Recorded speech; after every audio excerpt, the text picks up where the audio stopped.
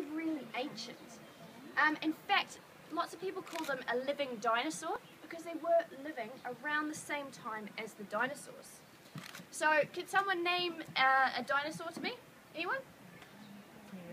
There you go, a T-Rex. So, you guys can imagine something... dinosaur Rex? Close. um, you guys can imagine a giant T-Rex running around here now and little Zeus running in between their feet because they were coexisting together.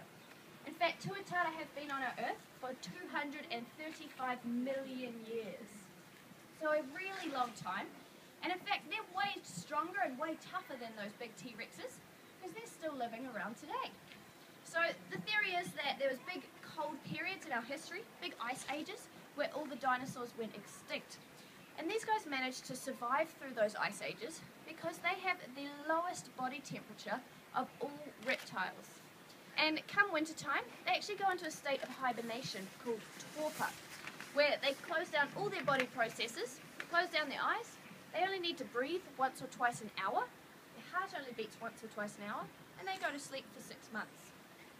Now because of this, they can survive really cold temperatures, which I'm sure you guys know is pretty important here in New Zealand. And um, and because they go into that hibernation state, I could probably get little Zeus here, pop him onto the bottom shelf of my fridge about six months, and uh, he'd be completely fine.